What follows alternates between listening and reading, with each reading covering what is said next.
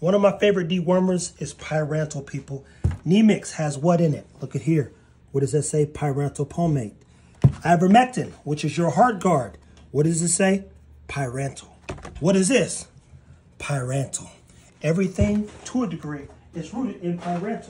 When deworming a dog, weigh the dog.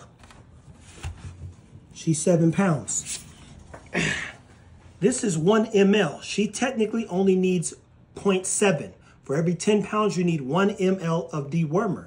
Because your dog will not die if you give it a little bit more, we give her a little bit more. And it smells like root beer float. Like, hold on, brother, give me some more. this is the good stuff. Everybody gets their own syringe, and it's not a syringe. It's literally a little tube thing that you, you know, use for puppies and potentially feeding babies. Stay tuned. Take care of your dogs.